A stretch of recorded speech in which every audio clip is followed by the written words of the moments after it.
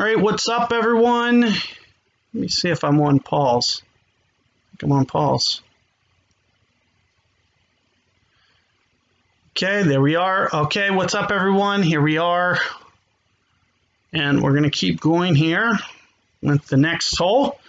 Now, if you've seen my distance club distance sheet, you'll see that, uh, and that is on the Golden Tee Mobile Facebook group. Six wood's typically going to land pretty close to 229 for flat hole. I consider this hole to be maybe just a little bit uphill, so it might only land maybe 227 usually, but we do have a little bit of tailwind helping us. So this might actually get there. So I'm thinking somewhere along the lines of a grabber, of course, a significant amount of wind. So you're going to see, and you can use the letters to your advantage. So for, in, for instance here, I'm thinking somewhere along the lines of, now I do want to kind of under adjust this because I know it's going to run down the hill left to right. So you'll see that I just try to kind of marginally underplay the wind. I'm thinking almost to where the S is touching.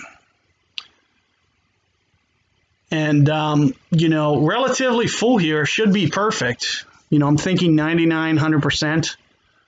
Since we have a little bit of tailwind, I'm going to go essentially 99 as much as possible right there. This is kind of the longest that you can get it without actually being 100. It's kind of like, I don't even know, it might even be 99.5%. I don't know what it is, but um, oftentimes you'll see that I do shots like this. And again, we're trying to make it land left intentionally, hopefully back spin into the cup, and it just was long. So I needed to take off just a touch more.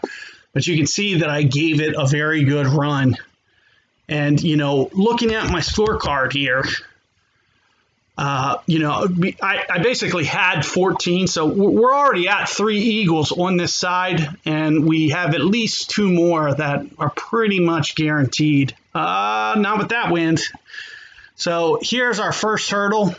We didn't get the tee box. Any other tee box, we'd still probably be able to maybe stretch to this hole. This is not what I wanted to see. Um, and it's going to make this hole a little bit less enjoyable to play because we're going to have to lay up. There's no getting there from the bat. Now, if it would have been any other tee box, there's some things we could have done. Um, typically, what you'll see that I do is I try to kind of maniacs up into this right corner above that water, but we would have needed we would have needed to draw that other tee box right over here, this right tee box or the left one, either one and they gave us the back tee and then gave us a tailwind.